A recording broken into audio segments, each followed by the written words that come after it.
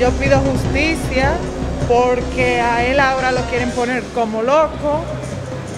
Jeffrey en realidad no se metía con nadie, él iba llegando a su casa, era.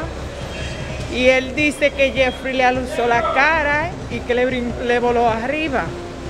Pero que nosotros vivamos cerca de ahí y desde que escuchamos el motor nosotros sabíamos que era él. Y al poquito rato se escuchó el, disparo, es decir, que nosotros no escuchamos discusión ni nada, que de una vez se escucha en mi casa, porque nosotros vivamos como a dos casas del punto.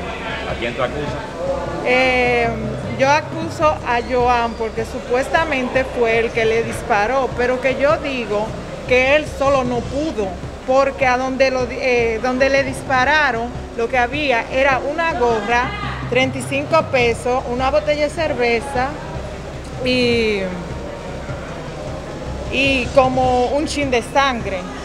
Entonces él se estaba desangrando y a donde lo pusieron fue en el punto, arriba del motor. Entonces ahí lo que aparecía también otro poco de sangre, el motor lleno porque fue arriba que lo pusieron y su chancleta bañada de sangre que también se la pusieron ahí.